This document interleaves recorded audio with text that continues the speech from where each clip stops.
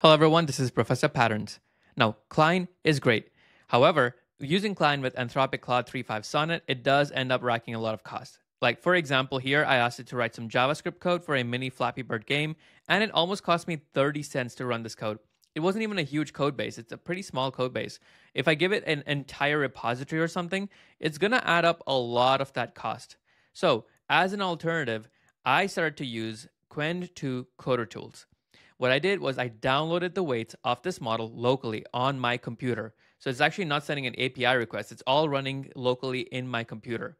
The only thing that changes is now in your settings, you would just change your API provider from Anthropic to Ollama.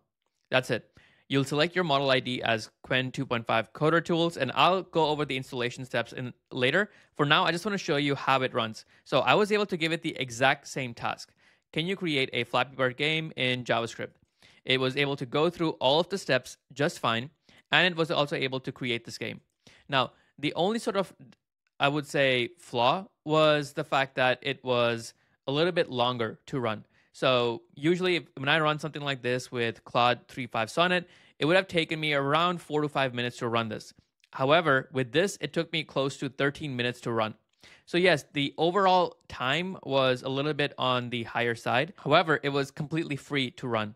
So, how did I actually set this up? Well, the first thing that I needed to do was to download Ollama.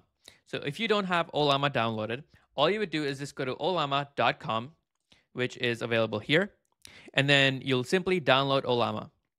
Once that's done, you go to models, and here you can search the one that says Qwen 2.5 Coder Tools and this is the one that I downloaded. Now there are different variants, so you would want to pick the one that suits your GPU. Now because I have an NVIDIA 4090, I was able to select the 32 build parameter model. It's about 20 gigs to run, so it is a little bit beefier. Now all you would do is just simply run or open up your command prompt, and then simply you would just type in Ollama, pull, and then the name of this model. So here is what I'm just going to copy, and then go back to my command prompt, and there we go. So because I've already got this model downloaded, you can see that it's pretty much just going to say success. So now that that's done, all you would do is on VS Code, change the model ID to whatever you just downloaded. And then that's it. So you should now be able to use uh, Qwen 2.5 coder tools for your coding applications. The overall typical workflow that I would recommend is whenever you're working on a project, start off by using something like Qwen 2.5.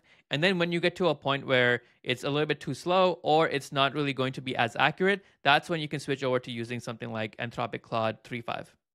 That's it for this video. Thank you for tuning in and have a good rest of your day. Goodbye.